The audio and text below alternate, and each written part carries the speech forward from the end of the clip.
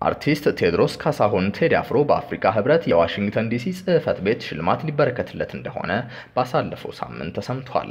በአፍሪካ ህብረት የዋሽንግተን ዲሲ ጽህፈት ቤት አርቲስት ቴዎድሮስ ካሳሁን ለወጣት አፍሪካውያን ታላቅ አርአያ በመሆን ላበረከተው አስተዋጽኦ የእውቅና ሽልማት ሊበረከትለት መሆኑን ገልጿል። ሽልማቱ የሚሰጠው በመጪው ሐምሌ በዋሽንግተን ዲሲ በሚካሄደው በታላቅ የአፍሪካ ሩጫ ጋር ተያይዞ በተሰናዳው ዝግጅት ላይ ነው። ታላቁ ሩጫ በዲሲ በየዓመቱ የሚካሄድ ብዙሃኑን የሚያሳትፍ የጎዳና ላይ ሩጫ ሲሆን የመጀመሪያው ዝግጅት በመጪው ሐምሌ 14 2011 ዓ.ም በፈረንጆቹ አቆጣጠር ደግሞ July 21 ቀን 2019 እንደሚካሄድ ገልጸዋል። ዝግጅቱ የሚዘጋጀውን በዋሽንግተን ዲሲ የአፍሪካ ህብረት ጽህፈት ቤት Nova Communications በሚባል የበጎ አድራጎት ድርጅት ከኢትዮጵያ ኤምባሲና በዋሽንግተን ዲሲ የከንቲባ ጽህፈት ቤት የአፍሪካ ጉዳዮች ክፍል ጋር በመተባበር መሆኑን ተገልጿል።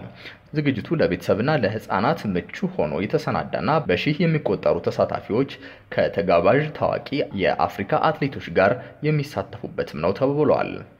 በዋሽንግተን የአፍሪካ ህብረት ጽህፈት ቤት ዋና ተጠሪ የሆኑት ዶክተር አሪካና ቹምቦሪኮ ሽልማቱን አስመልክተው እንደተናገሩት አርቲስት ቴዎድሮስ ካሳሁን ከኢትዮጵያ አልፎ ለአፍሪካ ወጣቶች በአርአያነትና ተግቶ በመስራት ዙሪያ ያበረከተው ሚና የጎላና እውቅናውም ትርጉም ያለው ነውም ብለዋል።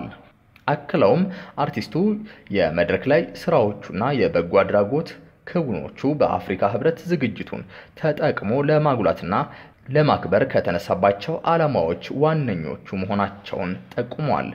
የውድድሩ ዋና አዘጋጅ የሆኑት ዶክተር ጋሻው አብዛ ሽልማቱ ወቅታዊ፣ ምክንያታዊና አኩሪ ሲሉ ገልጸውታል። ዶክተር ጋሻው ለአርቲስት ቴዎድሮስ ካሳሁን የተሰጠው እውቅና ካበረከተው ተምሳሌታዊ ሚና ባሻገር የአገር ኩራትም ነውም ብለዋል።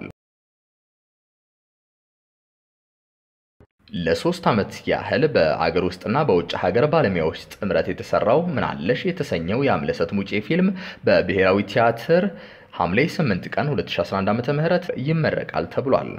መቼቱን በአፍሪካ ትልቁ ገበያ በሆነው መርካቶ ውስጥ በማድረግ እስከ ኒውዮርክ በሚደርሰው በዚህ ፊልም የታሪኩ ፍሰት በሶስት የማንነት ሀሳቦች ውስጥ በድህነት፣ ውበትና ሩጫ ላይ እንደሚያጠነጥን በፊልሙ ይፋዊ የፌስቡክ ገጽ ላይ hasta o cual.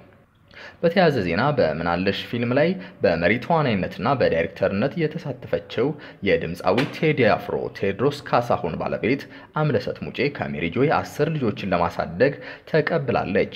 አርቲስቷ በይፋዊ የፌስቡክ ገጿ ላይ እንዳስታወቀችው ሜሪጆይን በመቀላቀል ለማሳደግ የተቀበለቻቸውን ልጆች ከቤተሰቦቻቸው ጋር እየኖሩ እንደ ልጆቼ በመደገፍና ፍቅር በመስጠት ለማሳደግ ለቁም ነገር ለማብቃት ቃል ገብቻለሁ። ልጆቼም ከእህትና ወንድሞቻቸው ጋር ተዋውቀዋል ያላቸውን ለማካፈል ደስ ተሰኝተዋል ስትል ጽፋለች። ኢትዮጵያውያን ለኢትዮጵያውያን በሚል መሪ ቃል እርስ በእርሳችን በመደጋገፍ የጋራ ችግሮቻችንን በጋራ መወጣት አለብንም ስትል መልእክቷን አስተላልፋለች። የሶል ንግስቷ ተወዳጇ ድምፃዊ አስቴር አወቀ አዲስ አልበም በገበያ ላይ ሊውል እንደሆነ ተሰምቷል። የሶል ንግስቷ ተወዳጇ ድምፃዊ አስቴር አወቀ በአዲስ አልበም ዳግም ብቅ ልትል እንደሆነ ሰምተናል። በዚህ ሳምንት በገበያ ላይ ይውላል ተብሎ ሲጠበቅ የነበረው የተወዳጇ ድምፃዊ አዲስ አልበም ከሰሞኑ በሀገሪቱ በተፈጠረው አለመረጋጋት የተነሳ ላልተወሰነ ጊዜ እንደተራዘመም ለማወቅ ተችሏል።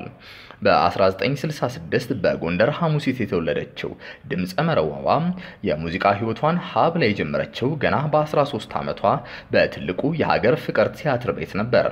ከሰባዎቹ መግቢያ ጀምሮ በቀዳሚ አልበሟ መድመቅ የጀመረችው ኮከቧ ሙዚቀኛ ሙዚቃን ከኮንቲኔንታል ባንድ፣ ከሆቴል ዲ አፍሪክ ባንድ ከአይቤክስ ባንድ እና ከሸበሌ ባንዶች ጋር በተለያዩ መድረኮች ላይ አቅርባለች። ከዛም በዝነኛው አሊታንጎ እገዛ ከባንድ ወጥታ በግሏ መዝፈን የጀመረችው አስቴር በተለይ ከውብሸት ፍስሐ ጋር በመሆን ነጠላ ዜማዎችን ለህዝብ ማድረስ ጀምራለች። እነሆ ከሰሞኑ ደግሞ በአዲስ አልበም ብቅ ልትል ነው።